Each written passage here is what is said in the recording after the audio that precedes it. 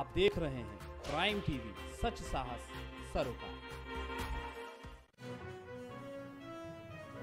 चंदौली से इस वक्त की बड़ी खबर हम आपको बताने जा रहे हैं। जहाँ पर एचटी लाइन में शॉर्ट सर्किट के चलते कार में लगी भीषण आग।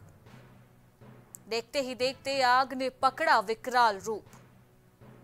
भीषण आग की वजह से कार जलकर हुई राख। आग लगने की सूचना पर भारी संख्या में ग्रामीण मौके पर इकट्ठा हो गए। ग्रामीणों ने पावर हाउस फ़ोन करके बंद कराई थी लाइन। एलिया थाना क्षेत्र के बराव गाँव की पूरी घटना हम आपको बता रहे हैं। चंदौली से जहाँ पर आग का भीषण कहर देखने को मिला है। एसटी लाइन में शॉर्ट सर्किट के चलते कार में भीषण आग लग गई। देखते ही देखते आग ने विकराल रूप ले लिया, जिसके बाद कार पूरी तरह से जलकर राख हो गई। और इसी बीच गाजीपुर से बड़ी खबर हम आपको बता रहे हैं। जहाँ पर मिशन यूपी पर इस वक्त बीजेपी के सभी दिग्गज नेता लगे हुए दिखाई दे रही है, जहाँ पर जन विश्वास यात्रा की शुरुआत की जा रही है। गाजीपुर में रामलीला मैदान में यात्रा का आगाज़ हो चुका है। स्मृति ईरानी ने जन विश्वास यात्रा की शुरुआत की है। यूपी के सभी छह संगठन क्षेत्रों में यात्रा का आगाज़ इस वक्त किया जा रहा है। गाजीपुर में इस वक्त स्मृति ईरानी मौजूद है। आज सुपर संडे भाजपा का देखने को मिल रहा है। रैलियों भरा आज संडे है इस वक्त और देखने को मिल रहा है जिस तरह से चार शहरों में इस वक्त बीजेपी के दिग्गज नेता मौजूद है। इसी कड़ी में गाजीपुर में स्मृति ईरानी मौजूद है, जिन्होंने जन विश्वास यात्रा की आज शुरुआत की है।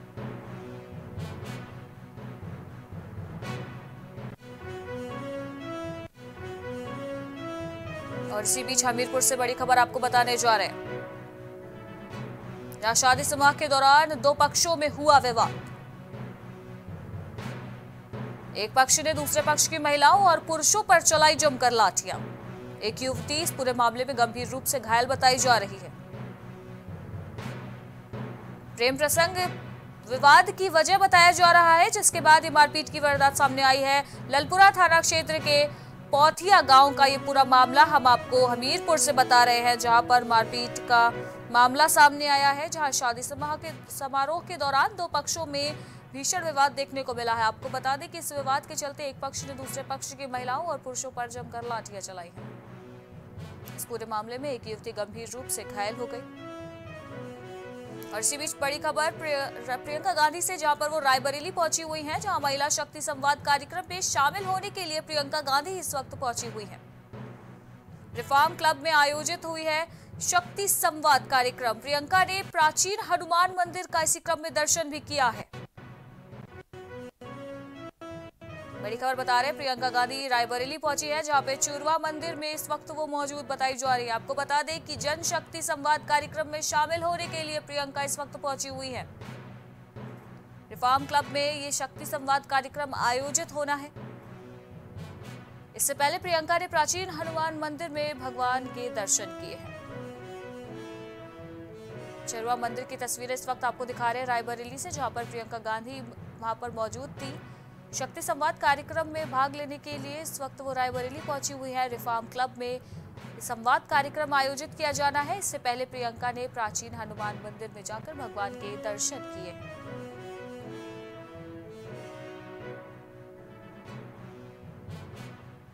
प्रियंका गांधी आज रायबरेली के दौरे पर बताई जा रही हैं, जहाँ पर वो शक्ति संवाद कार्यक्रम में उपस्थित होने के लिए पहुँची हुई हैं। रिफार्म क्लब में ये पूरा कार्यक्रम आयोजित होना है। इसी कड़ी में कार्यक्रम में मौजूद होने से पहले वह चुरवा मंदिर पहुँची हुई थी, जहाँ पर उन्होंने हनुमान जी के दर्शन किए।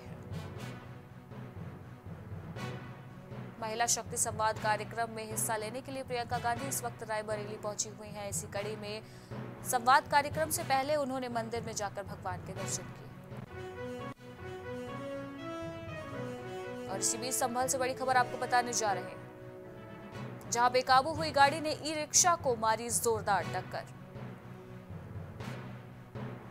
गाड़ी ने सड़क किनारे खड़े कई लोगों को भी रौन दिया।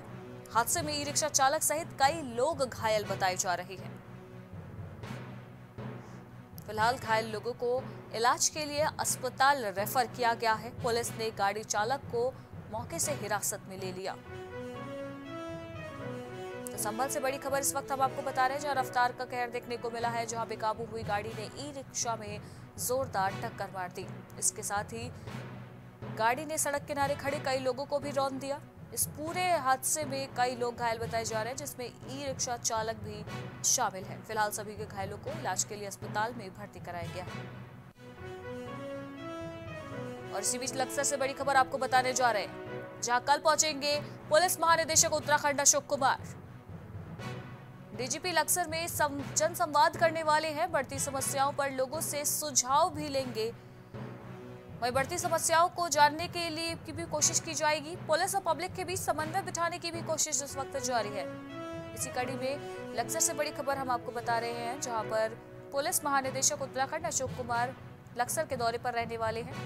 डीजीपी लक्सर में जन संवाद कार्यक्रम में शिरकत करने वाले हैं, जहाँ बढ़ती समस्याओं से लेकर वहाँ पर लोगों से संवाद किया जाएगा। वहीं पर लोगों से समस्याएँ जानने की कोशिश की जाएगी और पुलिस और पब्लिक के बीच समन्वय बिठाने की भी कोशिश की जाएगी।